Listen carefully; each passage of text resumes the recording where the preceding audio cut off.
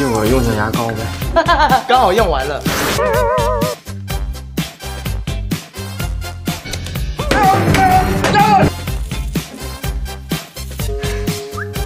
你不是说都没了吗？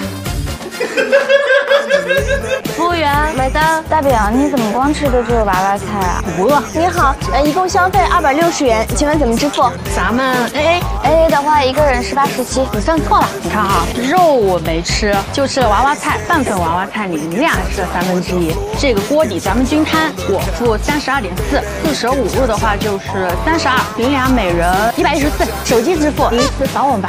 好，不好意思啊，我手机没电了。没电了是吧？没事没事，我来。这这单都买完了，剩这么多肉，怪可惜的啊！节俭啊，是中华的美德。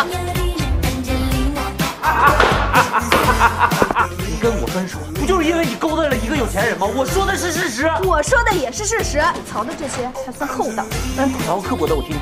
分手了，居然要把送我的衣服礼物折合成现金要回去，那是我花钱给自己女人买的，现在你成了别人的女人，我凭什么不能要回来？自己不交网费，不用邻居家的 WiFi，是你吧？邻居家一天到晚没人，WiFi 不用浪费了，我帮着用用。还有更绝的呢，大热天的不开空调，扒光了屁股在阳台上晃荡，说是环保降温。抖音。